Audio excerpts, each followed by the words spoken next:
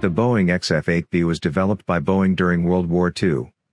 It was a single-engine aircraft developed to provide the U.S. Navy with a long-range shipboard fighter aircraft, and it was intended for operation against the Japanese home islands.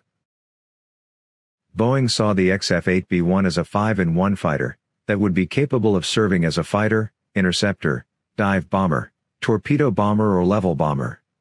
It was powered by a Pratt & Whitney XR436010 radial engine, and had two three-bladed contra-rotating propellers. At the time it was developed, it was the largest single-seat piston fighter ever used in the U.S.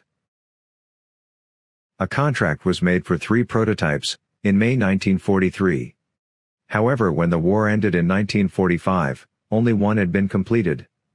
The first prototype made its first flight in November 1944, and the two remaining prototypes were completed after the end of the war. The wings of the XF-8B were large, and could fold vertically. The aircraft had an internal bomb bay, and large fuel tanks.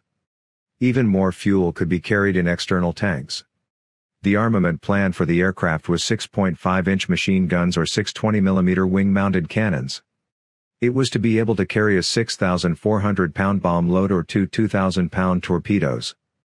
The second and third prototypes were fitted with a second seat to allow a flight engineer to monitor the test flights. Testing went on until 1947, but the end of the war had changed U.S. strategy. The new strategy required Boeing to concentrate on large land-based bombers and transports. Also, jet fighters were becoming the new focus, making piston-engined aircraft obsolete. The U.S. Navy offered Boeing a small contract, but Boeing chose to shut down the XF-8B program. After the program ended, all three prototypes were scrapped.